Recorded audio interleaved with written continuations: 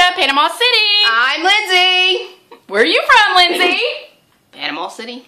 Hi. Well, I walk because it's an awesome thing to do. You raise awareness and It's for the kids. you've got to do it for the kids. It's for the kids. And that's why I walk. I don't know about her.